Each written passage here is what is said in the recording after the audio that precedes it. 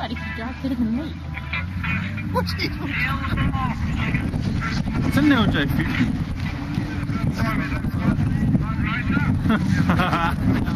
Good call. Good call.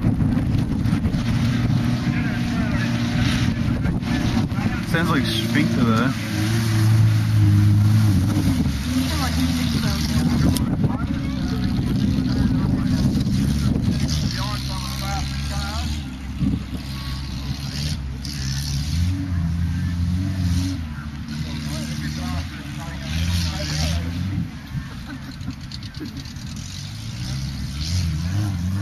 Give us some stick, boy.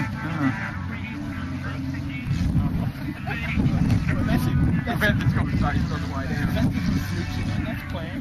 Oh, That's a low population. that's a big hole. Give me stuff.